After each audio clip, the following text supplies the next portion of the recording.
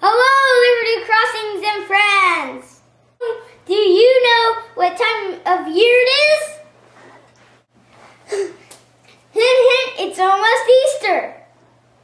We will be having a, a picnic and an Easter egg hunt Saturday, the day before Easter.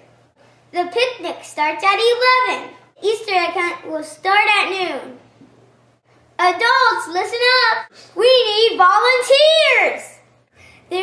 Volunteer sign up sheet in the back of the sanctuary. Alright, look back at me. And we need a lot of Easter eggs. For the whole church and our friends, we will need three or four thousand Easter eggs. And if there is stuff with something yummy, that will be even better. And don't forget, picnic and Easter egg hunt Saturday, the day before Easter.